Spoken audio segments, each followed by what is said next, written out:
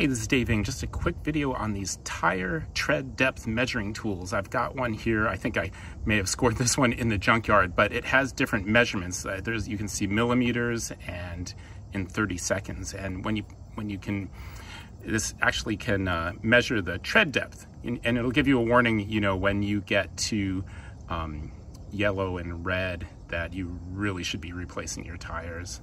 And uh, so I have I have some of these tires on the front here, I'm gonna get them replaced soon. And let's see here, yeah, we're down in the uh, the yellow area. So so we're, we're getting kind of close to uh, to where we need to replace them, probably replace them so anyway. Over here is um, the newer tires on the back. I'm gonna move those to the front uh, to get some tread for the, the fall weather and into the winter. And, um, and so you can see the different the different uh, depths. I think that is millimeters. So we're still, we've still got plenty of tread left on those tires. Uh, that'll help give you a guide for, uh, you know, whether the, uh, you know, the tire guys, when you go in for inspection, are telling you the truth or not. I hope that, you know, I hope that helps. We'll see you next time.